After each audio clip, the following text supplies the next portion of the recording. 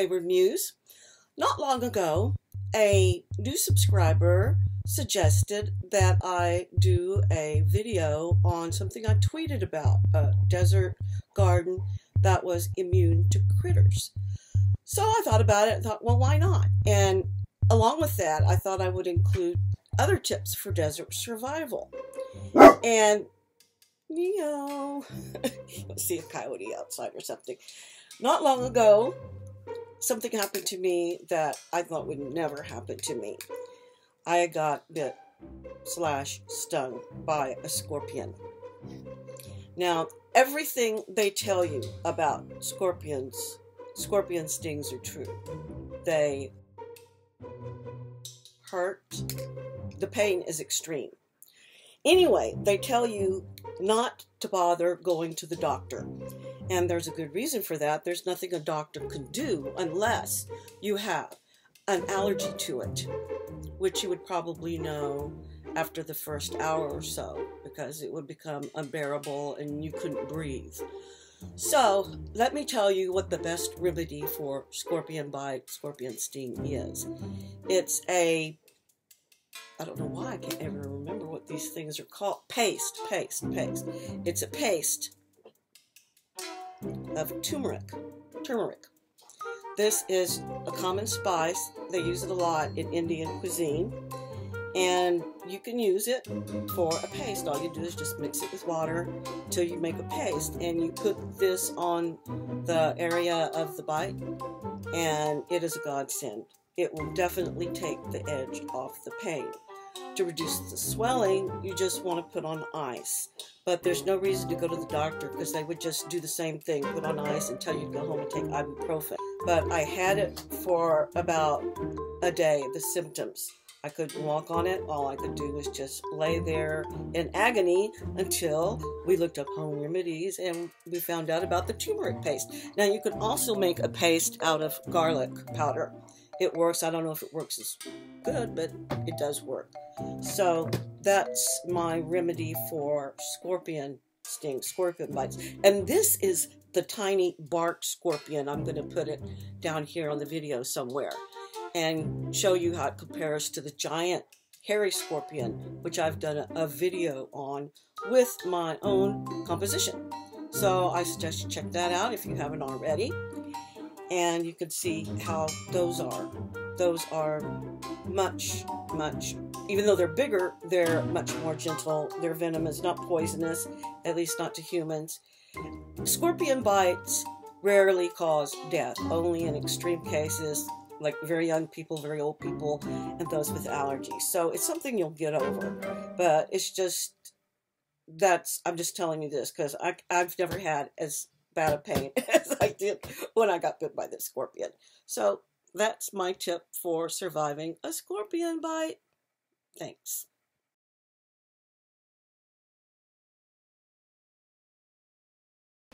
Alrighty, now it's time for the part on what to do if your car breaks down. Well, the best thing you could do is to prepare for it. And I always make a cool pack. Doesn't matter how far I'm going. Y'all be quiet. But anyway, these are the things I put in my cool pack. It's a little mini cooler that I got from the National Wildlife Association.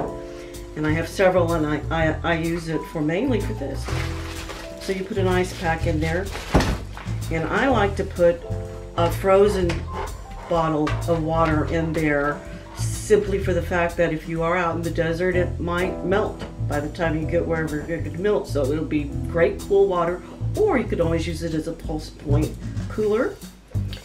And then I put a regular bottle, bottle of cool water in there. And then heat makes me nauseated. Also, I have a medical condition that makes me nauseated if I get in pain. So I always put a soda in there. And then a spray bottle. These are the best things for if your AC goes out in your car. And then, well, that's it. That's basically what I put in my cool pack and I take it with me wherever I go. It doesn't matter how far I'm going, it is always in the vehicle because my vehicle has broken down before.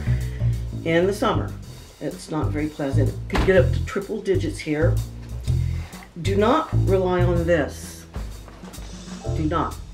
For one thing, it may not be charged. Even if it even if you have a charger, a portable charger like this, this is a great little thing. It's made by Eco EcoX Gear. It's one of those companies that makes great things for the outdoors, Wi-Fi speakers and whatnot. You have to have one of these, a cord. So that's just too much technology to have to carry around.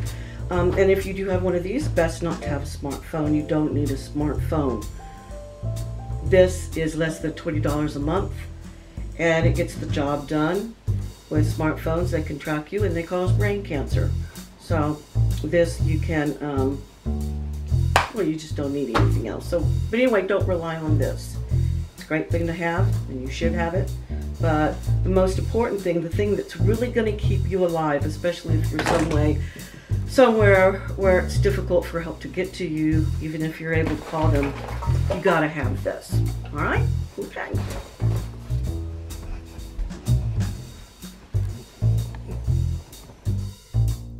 All right, now part three how to do a critter proof desert garden. Retired engineer Mel Bartholomew founded and developed the square foot gardening method in the 1970s and wrote the definitive book about it. He designed it to grow the maximum amount of plants in the minimum amount of space. You spend less time weeding and are able to rotate and diversify your crops more easily. No moving around because you can sit or kneel right in the same place the whole time. You also use less water for obvious reasons. Now, I'm not going to go into detail about how to build it because others have done that much better than I could, and I've listed the videos below in the description. Now, the critter proofing is a different story. We have so many burrowing animals, particularly ground squirrels and rabbits, that it's impossible to keep them out of any garden unless you have special critter proofing. They will dig under or climb over at any cost. The only way to keep them out is to prevent those two behaviors. And this is how we did it. My husband John adapted a technique he saw Australian farmers using and then added his own innovations. To keep them from digging under, you have to install a vertical quarter inch wire mesh buried at least a foot and a half straight down, with another foot and a half going straight out across horizontally into the garden underneath the fencing. To keep them from climbing over, you install an upside down plastic gutter that people ordinarily use for roofing. You put that on a small piece of wood that juts out from the top of the fence. It may look weird, but it does the job. And that's all there is to it. Now, in order to keep birds out, you need to install higher posts at each end of the garden that you can use for attaching plastic netting for draping across the garden. This might complicate getting in and out a little more, but it's just like pulling back a shower curtain, and you get used to it. Now, you can't fight Mother Nature. Some clever critters will try and get in, like this Eurasian dove that put a nest up there, but that obviously didn't work out. Plus, we had a spadefoot toad that emerged from the garden, but he'd probably been buried down there forever until he came up out of the dirt. But let's get back to the garden. What you're about to see are the results. They said it could not be done, but we did it. 2012 season, I'm in this garden and it's got I don't know cilantro something growing down there I have no idea snow peas and the huge stalks of artichokes look at those at those things huge giant artichoke plant it's got the standard tomatoes um, different kinds of lettuces, uh, lavender, some type of a peas and peppers, lots of different kinds of peppers, a giant rosemary bush. Right down here as I'm stepping in here, it's got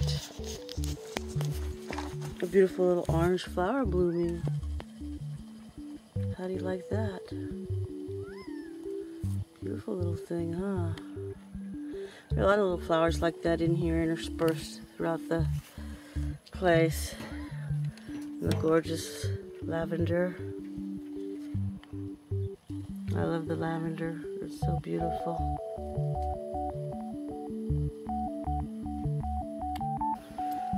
I don't know what this stuff is. It's pretty. It's nice, pretty red stuff.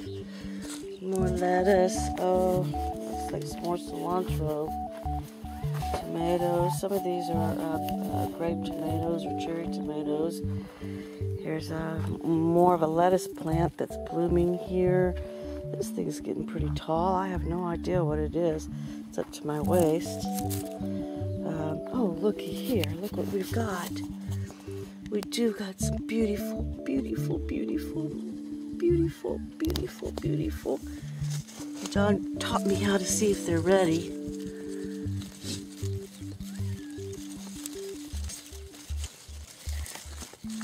Well, I guess it could stand another day. Oh, this one definitely looks like it's ready. Look at that. Oh my gosh. It's gorgeous. That's just gorgeous, isn't it? Look at that. Wowie zowie. This is a beautiful plant. I don't know what it is. Gorgeous. Beautiful, kind of a turquoise blue, whatever it's doing. I'm just showing you the uh, spring garden here. Uh, this beautiful, gorgeous April morning sun coming up.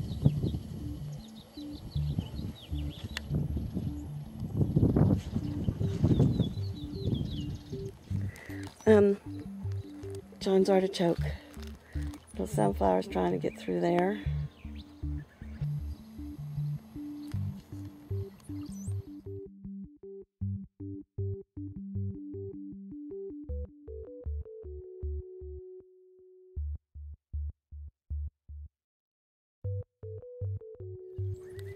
Artichoke blooms.